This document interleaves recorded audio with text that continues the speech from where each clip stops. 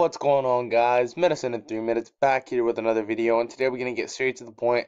We're going to keep the subject clear, brief, and illustrated. So let's get started. We're going to be talking about uh, the Glasgow Coma Scale. So yeah, let's get started.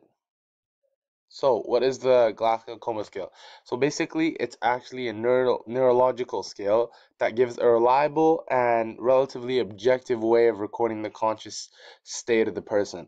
Uh, the patient is first of all assessed against the criteria of the scale and the resulting points will give a score between 3 and 15 3 being uh, a person who is in a very deep unconscious state which is a, a, very bad case of a coma and 15 being a completely normal uh, responding individual. So basically this scale is able to me measure how severe uh, your coma or your state of unconsciousness is all right, now the assessment is actually going to be uh, composed of three different parts. Now, the first is going to be uh, a visual or an eye assessment. The second is going to be a verbal assessment, and the third is going to be just a motor skill uh, assessment.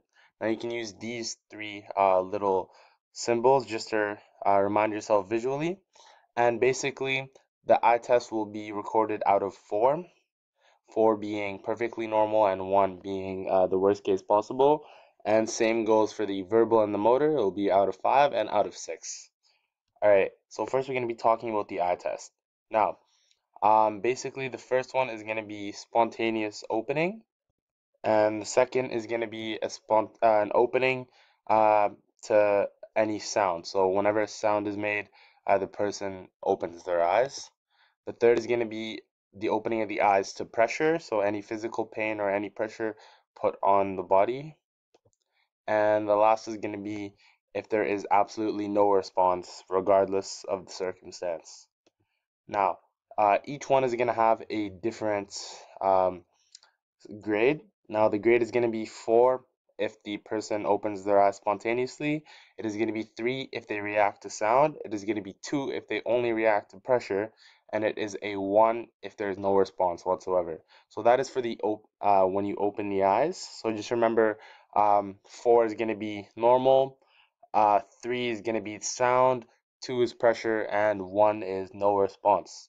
The second test is verbal. Now, when it comes to the verbal, there's actually going to be um, the first uh, question that you're going to ask. Um, simply, you could ask the person where they are.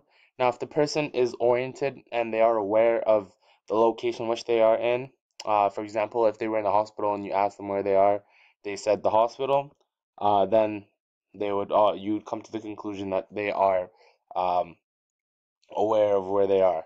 The second is going to be if they are confused. This will be a four point out of five. Um, this is if you're asking them where they are and they're disoriented or they believe that they're somewhere where they aren't. Uh, the third is going to be for out of three points.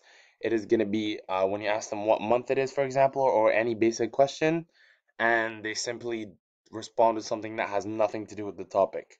And uh, when it comes to number two, it is going to be in any incomprehensible response. So maybe slurs his words or you completely don't understand what they're saying.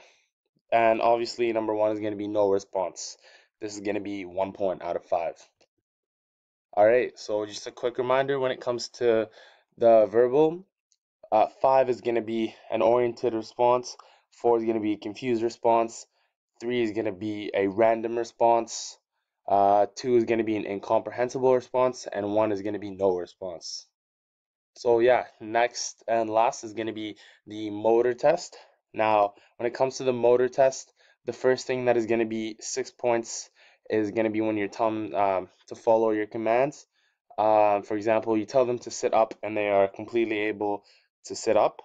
Um, if they are unable to sit up, but they are still able to localize uh, any pain. So, for example, you were, you know, the the classic when you hit the person in the knee and you know their their knee starts jolting. Um, if they're able to pass that test, then they ha- they get a five. Um, if they get a four, that means that when they respond to pain, they respond to it in the wrong way that it should that they should. Um, number three is going to be uh, uh, decorticate, posturing, which is a flexion to pain. So as you can see, the arrows are going this way. This is how he's gonna uh, react to pain. And decerebrate is gonna be basically an extension to pain. So as you can see, his body there is a reaction, but it is uh, more subtle. And of course, last, which is gonna be one point, is gonna be the no response. So just a recap of this one. Uh, number one, one point out of five if there is no response. Two points out of five if it is a decerebrate position uh, posturing. Um, when it is the uh, decorticate is going to be three points out of five, or sorry, out of six.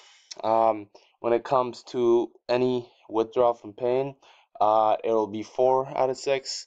When it comes to localizing the pain, it's going to be a five out of six. And if they are uh, following your commands very easily, it's going to be a six out of six. So yeah, just before we finish this video, I just want to tell you guys about The Butchered Gardens in Eden of the Pacific. It's an amazing book on uh, Amazon. Uh, you can find it on any ebook platform out there. Um, here's a little passage from it if you guys would like to uh, would, would like to read it. Uh, it's really an amazing book. I'd definitely go check it out. Um, it's available in French and English, and the price is very, very reasonable. So yeah, definitely go check it out, guys. So thank you so much. Uh, make sure to leave a like, subscribe if you're new, leave some comments, let us know if we did anything wrong. And yeah, thank you guys so much. Thank you. We just hit 200 subscribers, so we're still on that grind for 500.